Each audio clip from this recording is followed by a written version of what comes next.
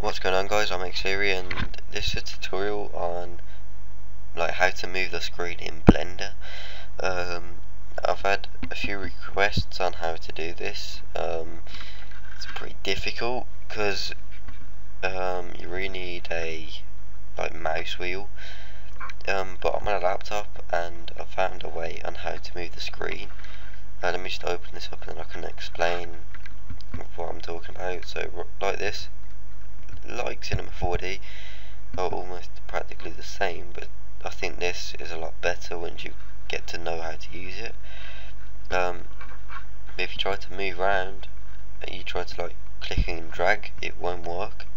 So what you need to do is go to File, User Preferences, go to Input on the top um, bar there, and then to the right here, or to the left, um, it says Mouse, emulate three button mouse, click that, continuous grab, click that.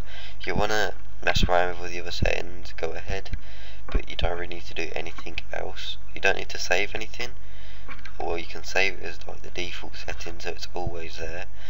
Um, but anyway, just click the X, and then hold Alt, and then just click and drag, and there you go.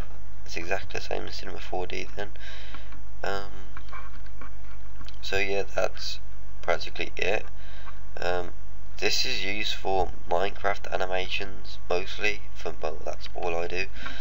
Um, and Fallen Kingdom by Captain Sparkles. He done his animation in this I think.